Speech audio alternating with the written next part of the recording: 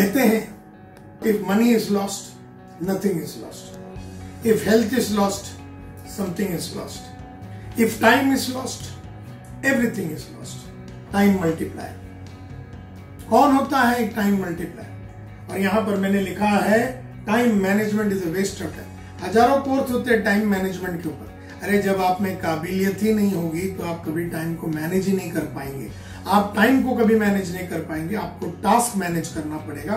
तो ये जो टाइम मल्टीप्लायर सीडी है, इसके अंदर हमने बताया है कि टाइम मल्टीप्लायर कैसे बनते हैं। क्योंकि जितने भी लोग जो धीरू भाई बने हैं, जो जेफ बेजोस बने हैं अमेजोन का मालिक, और जितने भी बड़े करोड़पति बने हैं दुनिया में, उन सबके पास भी 24 घंटा ही था।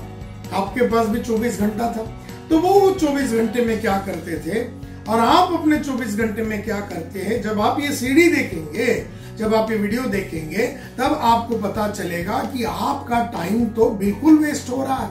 और गलत जगहों पे वेस्ट हो रहा है, गलत चीज़ों पे वेस्ट हो रहा है। और आपने अपने आजू बाजू में टाइम ब्लॉकर्स वगैरह जो है, उसको अपॉइंट ही नहीं किया। ये सभी बातें टाइम मल्टीप्लायर का ये सीडी में बहुत ही सुंदर तरीके से बताया हुआ है।